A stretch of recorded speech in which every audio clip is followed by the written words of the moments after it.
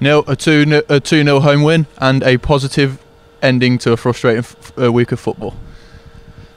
Well, it has been a frustrating week, but if you'd have said which game would I prefer to win out of the three, then obviously I'd take the league because that's the most important. So we were under some pressure today to get the result, and um, I thought the players coped well. Um,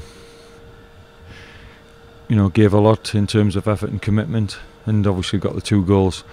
And that was a vital thing was getting that second goal. Um, too many times, I think this season, we've been leading at half time, failed to get that second goal, and end up dropping points. So today, couldn't stress how important that uh, second goal was that we got it.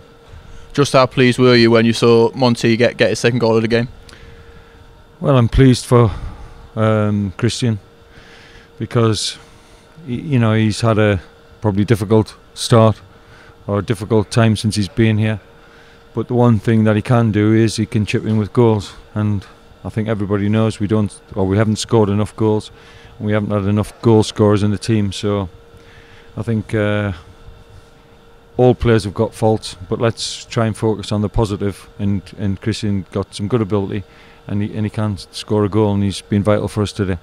And hopefully it takes some of that goal scoring onus off Tom Pope as well.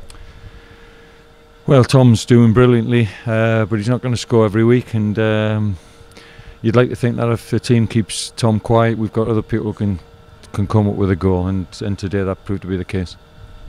FA Cup second round replay on Tuesday. How, how, how do you feel about going into that game?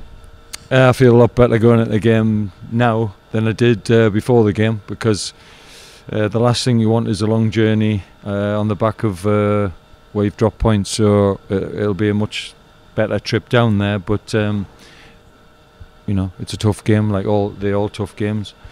But the FA Cup's important, and um, you know we treat it just like a league game, and hopefully we can get a result. You gonna get some sleep tonight? I'll sleep a lot better tonight than I have done. It, it it it is a you know it comes with a job. If you're not winning games, being a football manager isn't a pleasant job. Um, it does affect your sleep and uh, just your life in general. But you always you feel better after a win. But but you can only enjoy it tonight, and then you've got to prepare for the next. But I'm really pleased with the players. At the end of the day, it's about the players, not about uh, anything else. And uh, as I say, they were under pressure to get a result today, and they've got it.